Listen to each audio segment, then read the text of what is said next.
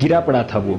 बहुत ही घायल, हद से भी ज़्यादा जख्मी, खून से लथपथ, साँसें थमने लगा था। लग रहा था जैसे चंदी पलों का मेहमान है वो। ऐसे में एक तीर और आके लगा उसके सीने में। इस दर्द हुआ।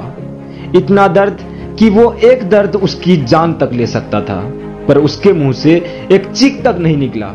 जंगल का सबसे ताकतवर और सबसे बलशाली राजा शेर घायल पड़ा था।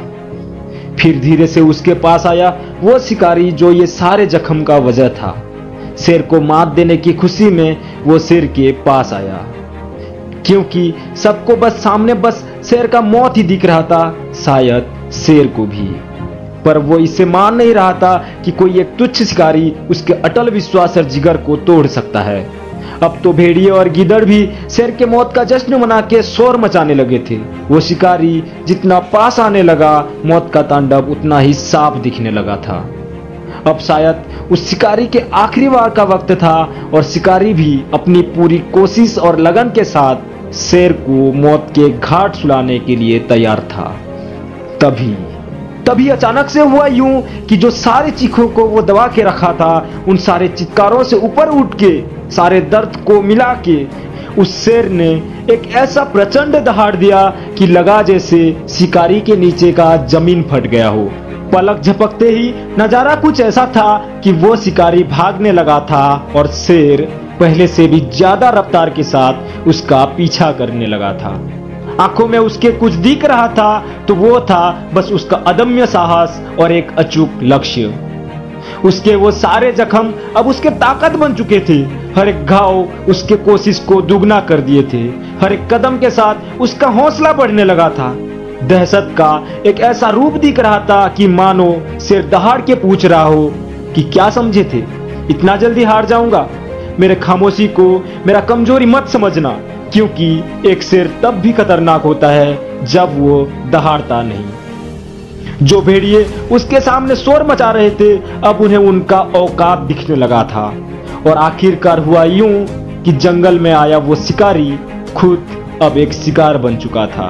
और सबको शायद ये सीख मिल ही गया था कि चाहे वो कितना भी घायल क्यों ना हो, पर जंगल का सबसे बलशाली अगर कोई है तो वो है शेर। वो तो एक अभिमन्यु है जो किसी भी चक्रव्यूह को तोड़ने का हिम्मत रखता है। तो आज का ये वीडियो उन सारे घायल शेर के लिए, जो जख्मी हो गए हैं। हज़ार हज़ार फेलर्स करियर के टेंशन फैमिली की प्रॉब्लम्स लोगों के ताने, इन सब प्रेशर से घायल हो चुके हैं वो।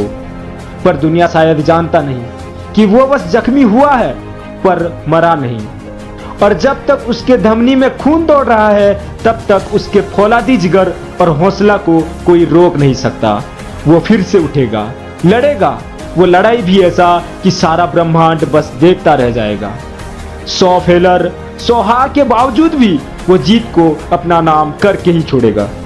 क्योंकि उसे उसकी साहस की सौगंध, उसे उसकी ताकत की सौगंध, उसे उसकी पराक्रम की सौगंध और उसे उसकी शेर होने की पहचान की सौगंध। ज़रूर जीतेगा वो। उसे दुनिया की कोई भी ताकत रोक नहीं सकता, क्योंकि अबे बाप है वो सबका। तो दोस्तों, आप क्या हो? वो शेर या फिर गिदड़? इससे पहले कि वक्त निकल जाए, इस सवाल का जवाब को खुद ढूंढ लो। तभी अपने पराक्रम को समझ पाओगे और इसी विजय तिलक को अपना नाम कर पाओगे। क्योंकि एक छोटी सी ललकार से हारे वो शेर नहीं होता। बुजदिलों के हाथों कभी राज नहीं होता। जिन्हें पड़ जाता है, डर के सहम जाने की आदत उनके सिरों पर कभी विजय का ताज नहीं होता। तो दोस्तों, अगर वीडियो अच्छा लगा तो लाइक कीजिए और शेयर करके पहुंचाइए उन लोगों के पास जिन्हें इसकी ज़रूरत है।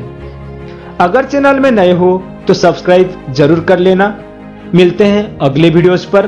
तब तक के लिए stay strong and stay the real you